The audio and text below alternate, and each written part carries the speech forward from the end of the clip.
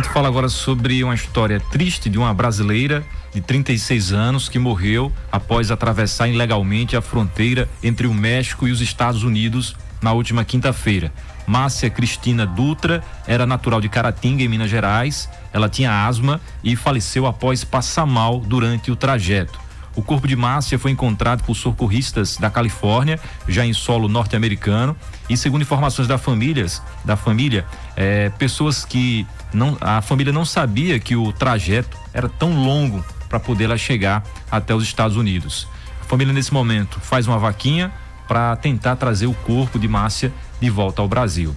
Muitos brasileiros saem do Brasil tentando buscar uma vida melhor. A gente acompanha uma imagem agora de algumas pessoas que tentam fazer essa travessia muito longa, às vezes tem rio, a temperatura nesse momento está muito elevada nos Estados Unidos e muitas pessoas chegam a passar mal e como o caso da Márcia tinha asma, acabou desmaiando e não retornou mais, acabou falecendo, infelizmente.